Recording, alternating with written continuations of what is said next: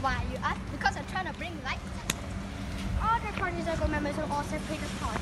Because all they do is fart.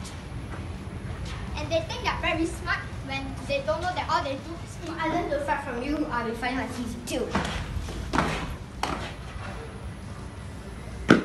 If I join Jungle, I'll be pooping just like the PZ leader do. PZ members are not very cool, and you guys are also very rude. But if people look at us, we will say that we're the opposite of you.